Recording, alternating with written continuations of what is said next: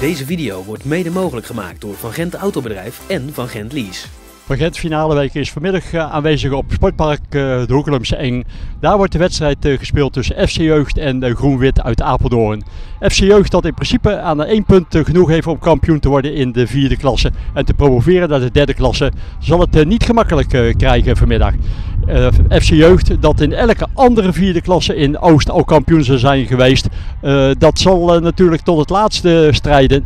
En laten we hopen dat we met dit verslag en de interviews de kijkers naar eh, Van Gent finale weken een leuke middag kunnen bezorgen.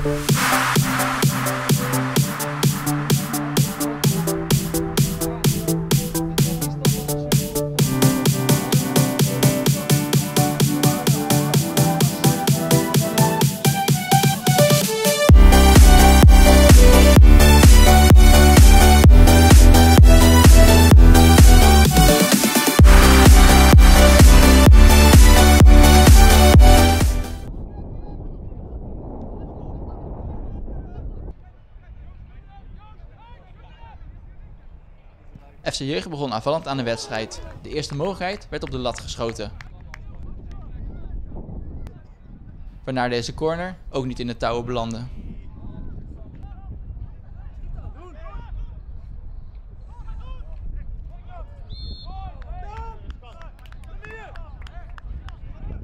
Vanwege het warme weer werd het spel vaak stilgezet voor een kleine drinkpauze.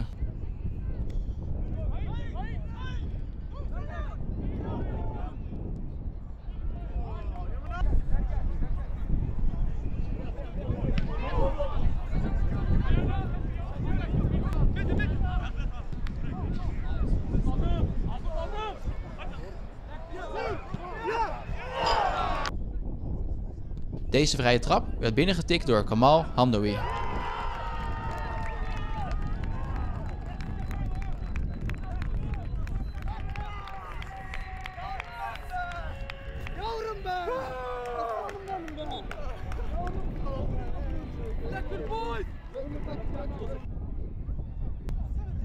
Deze treffer kwam als geroepen.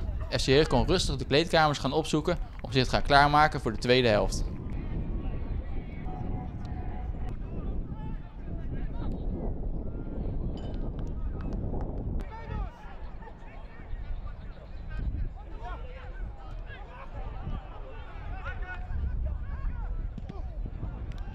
In de tweede helft werd het oppassen geblazen voor FC Jeugd.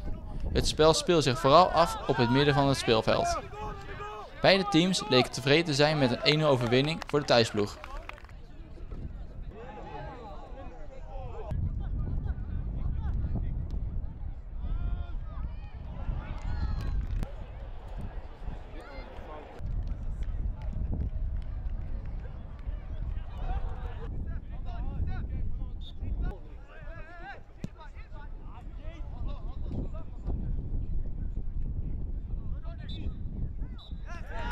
Door de overwinning op Groen-Wit mag FC Jeugd zich de kampioen van de vierde klasse noemen.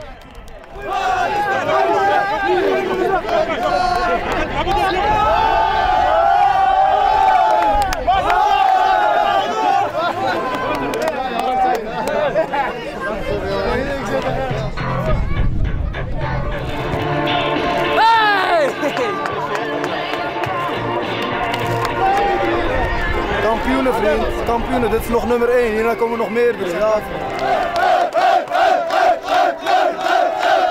Ahmed eh, Kilic, eh, de aanvoerder Aldi Verhaast, die opschreef je net als de architect van het kampioenschap. Hoe reageer je daar zelf op? Ja, ik, ik ben het daar niet echt mee eens. dat zijn te veel complimenten richting mij.